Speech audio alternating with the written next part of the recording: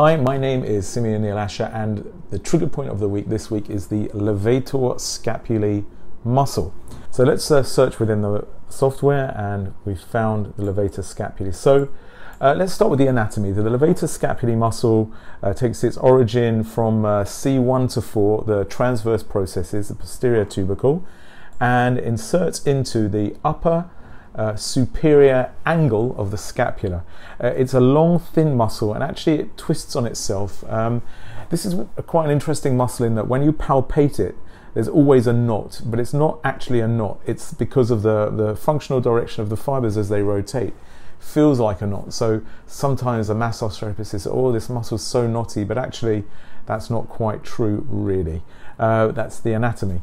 Uh, however, what is true is that when there are trigger points there, and they're quite common, uh, it can be the source of considerable amounts of pain. So, if we look at the pain map, for example, because it's quite extensive, looks a little bit like the trapezius muscle, but this time it goes down into the back of the arm, medial border of the scapula, and all the way up into the neck.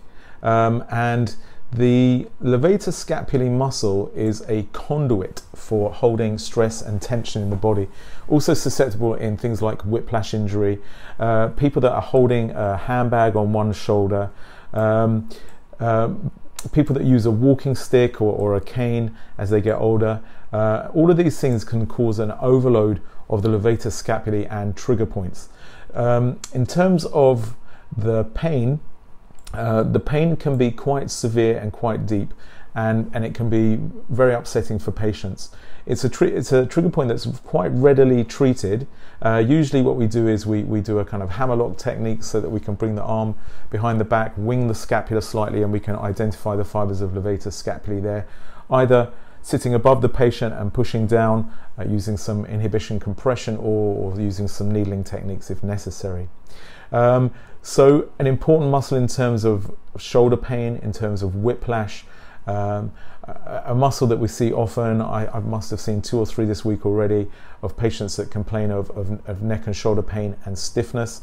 And remember, the upper fibers, as the muscle rotates, are much closer to the transverse process of the cervical spine as well, so it can be a source of cervicogenic pain. That's a levator scapulae muscle, trigger point of the week. Hope you enjoyed it. Look forward to seeing you again soon. Thanks for joining us.